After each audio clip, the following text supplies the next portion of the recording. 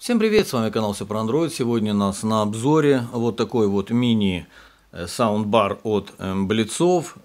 Называется он мини саундбар э, Pro версия. Почему Pro, я так и не пойму. Перед этим у меня был обзор на предыдущий саундбар, в котором был тюнер FM, встроенные часы. Здесь же минималистичный дизайн.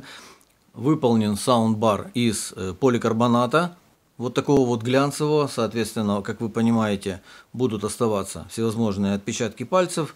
На передней стороне находится металлическая сетка, здесь же логотип Blitzwolf, я думаю, вот так вот э, поднесу, будет видно, выполнен он из металла. На нижней стороне находятся прорезиненные ножки, довольно-таки высокий подъем и довольно устойчиво стоит саундбокс на поверхности. Ну, хотя при максимальной громкости и при сильных басах немного начинает съезжать. На правой стороне расположены органы управления. Здесь кнопка питания, громкость плюс-минус и кнопка Bluetooth об управлении немножечко попозже. На обратной стороне порты для подключения это USB, AUX, ну и порт micro USB для подключения питания. Под сеткой находятся два динамика по 5 Вт, посередине расположен пассивный излучатель и здесь же светодиод, который будет вас уведомлять о режимах воспроизведения, поскольку цвет меняется в зависимости от режима воспроизведения. Давайте перейдем непосредственно к органам управления, посмотрим, что может наш саундбар. Как и любое другое Bluetooth устройство, при включении сразу начнется поиск, о чем будет свидетельствовать мигающий голубой светодиод. После сопряжения он будет постоянно гореть э, синим цветом. Есть три режима, как я уже говорил, режим флеш-накопителя, режим AUX и режим Bluetooth соединения. Переключение режимов осуществляется нажатием кнопки питания, то есть мы переводим саундбар в режим AUX, в режим Bluetooth, ну и, соответственно, при подключении флеш-накопителя начнется автоматическое воспроизведение и саундбар перейдет в режим воспроизведения и будет гореть ярко-фиолетовый светодиод. Управление воспроизведением и громкостью перемоткой треков осуществляется при помощи кнопок плюс-минус и Bluetooth. При нажатии в любом режиме сопряжения то ли это AUX, то ли это Bluetooth, то ли воспроизведение с на значок Bluetooth воспроизведение будет останавливаться и э, продолжаться. Громкость.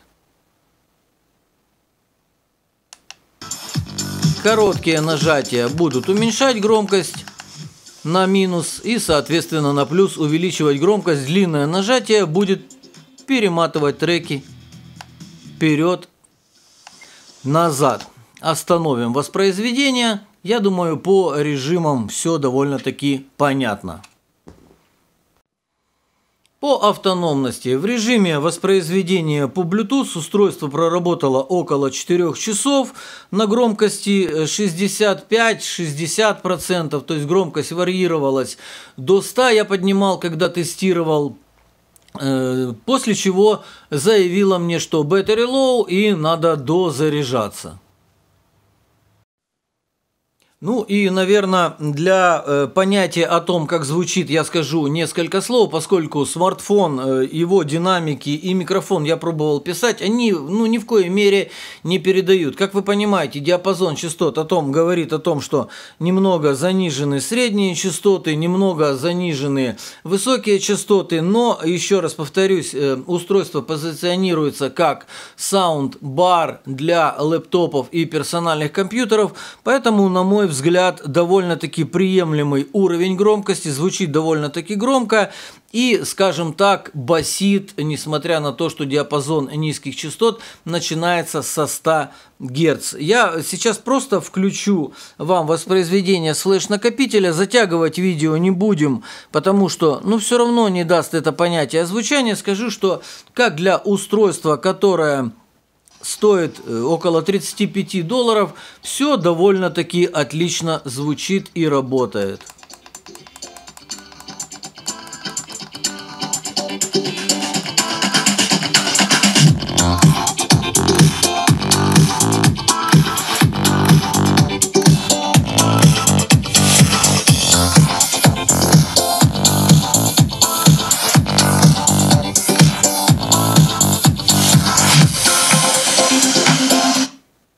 Я думаю, этого будет достаточно. При воспроизведении музыки с YouTube, и я подключал, э, когда играл игры, Особых задержек я не заметил, внимательно следил за губами диктора, который вещал нам что-то на YouTube, и отставаний, ну, практически нет, если они есть, то какие-то доли миллисекунды, которые для человеческого глаза в моем лице были недоступны. Итак, плюсы, во-первых, много интерфейсов подключения, второе, довольно-таки чистый, без хрипов звук, э, минусы зарезанные высокие и низкие частоты. На мой взгляд, громкости хватает для данного устройства.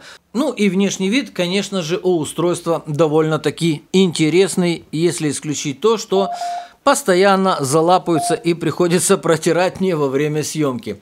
Ссылка на данное устройство будет в описании видео. Я на этом буду заканчивать. Подписывайтесь на канал, оставляйте комментарии. До новых встреч!